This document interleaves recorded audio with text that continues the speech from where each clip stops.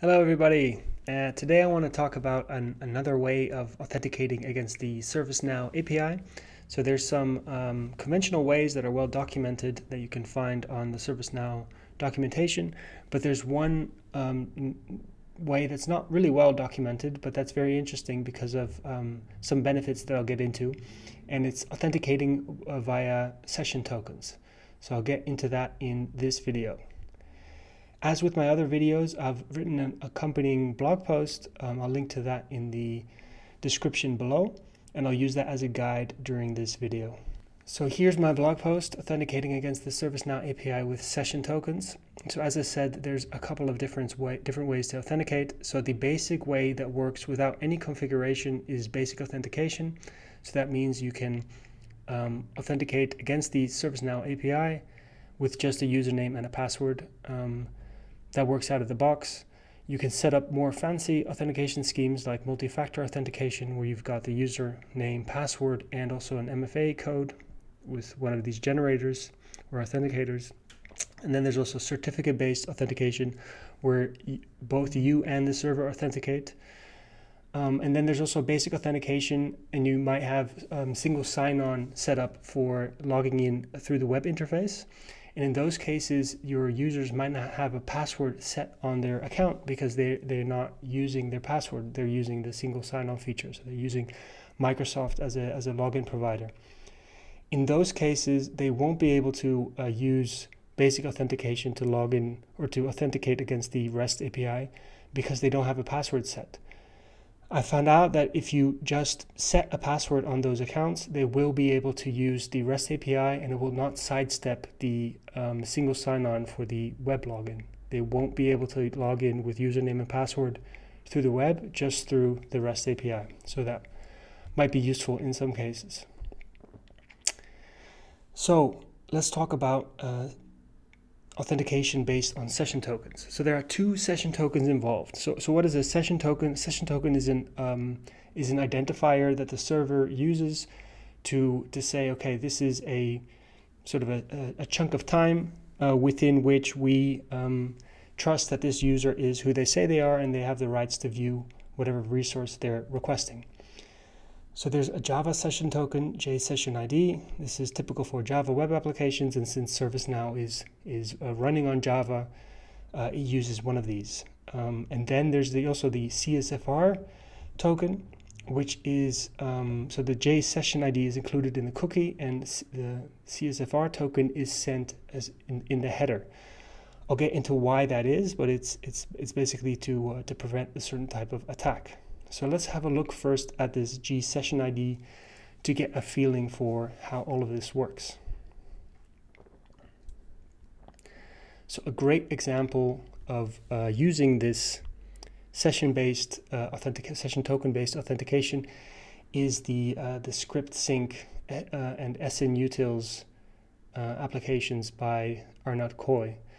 So he wrote a um, extension called SNUtils that you know all the ServiceNow developers that I know of use this, and they also use the SN Script Sync, which is the the Visual Studio Code um, complementary part to it, which allows you to sync scripts from your instance to your um, to your IDE. And I was wondering how does this work? So let me show you how it works first. So you here, I'm on my personal development instance and I click this sync button. I've got a script here and I click the sync button and then I go on the helper tab and it says open this in VS Code. I go to VS Code and here is the file. And then to show that it works both way, I can type a comment here, command S to save, go back here and we see that it showed up here. So there's a sync of these files. So how does this work? Well, this works using this um, using the REST API and by authenticating using the, the session token. Now, where is this session token? So if we were go if we were to go to the Chrome development tools, we go on network, it starts recording our HTTP requests automatically. If we just refresh this page, it's going to capture the first request to this page and it's going to capture all the cookies and all the headers that it sends as well. So while it loads, we can already look at what was sent. and we see here some cookies, but these were the the re actual request header is down here. Cookie, and here we have J session ID F46 whatever. So this is our J session ID in the cookie. Um, now let me just show you. There's a little trick. If we copy this as a curl, so that's just like a command line uh, HTTP request, um, but copying it in that format allows us to insert it into a tool like this, which is uh, Postman, which is like an API testing tool. And if we can import here, and we're just going to import the curl, and it just copies all the header information, puts it inside the right um, inside the right fields, and then just recreates the entire request, and then we can create that request here, and then you see it actually shows us a response, which is probably the same thing as we're seeing there, just because it's copied all the session ID, etc. But what now if you actually want to um, if you want to call the API. So this would be an API call. Before I run this, let's have a look at the headers to show you like it's copied all this from what we recorded in Chrome. And in this cookie, we have got this J session ID. So that's why it was working before. But if we execute it here, it says user not authenticated. Why is it saying this? Well, it's saying this because this second uh, token is not included. And um, you can see why uh, it helps against certain types of attacks. Because if I somehow was able to record this entire HTTP request, put it in here and just change this address and change it into a malicious request, let's say on a banking app, transfer money from, from you to me, then if we did not implement this second step, then that would just work. But now because I've changed the request, it's, it's complaining that um, it doesn't have enough um, auth information. So it doesn't have that second token. So that second token, if we provide that, that request would work. We just need to find it. So the J session ID, we just went over. Um, just quickly, there's another way uh, to, to, to get it. Uh, this is a extension called cookie editor. You've got all the variables in here, and here you've got the JSession ID as well. So that's just a little little trick. So how do you retrieve this second, the CSFR token? Well, there's three different ways. So there's a programmatic way.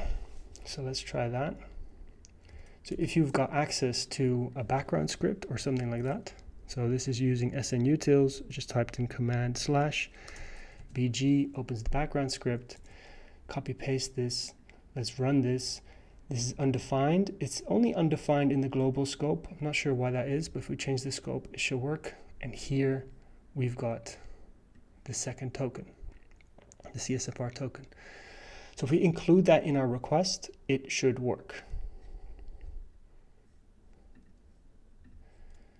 Now, there's two other ways that I know of to get the same token and they might be useful in different contexts. So if we go to inspect, we go to the browser console, and we type in window.gck, we've got the same token here. So that's another way to retrieve it.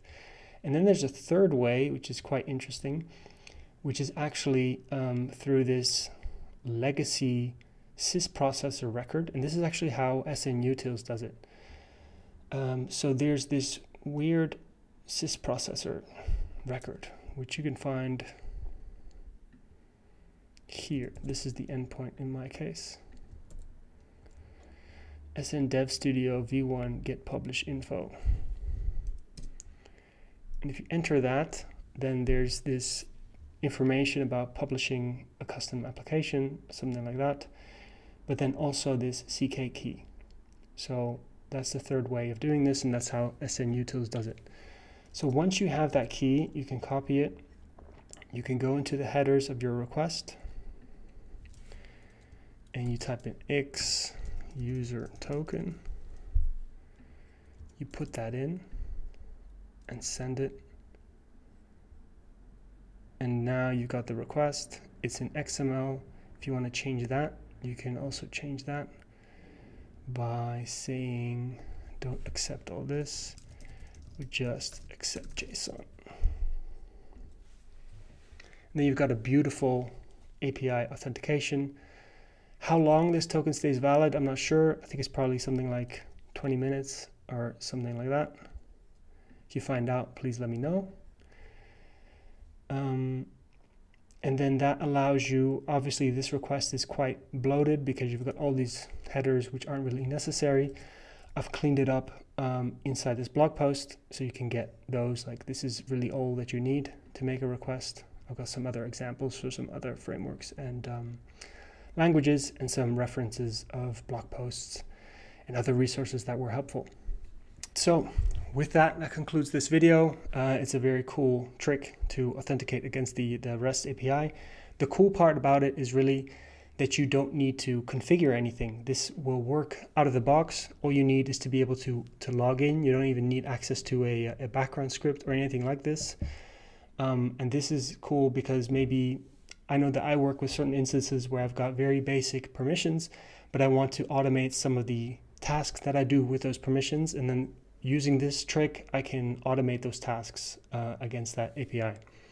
So if you enjoyed that, like and subscribe, and I'll see you in the next video.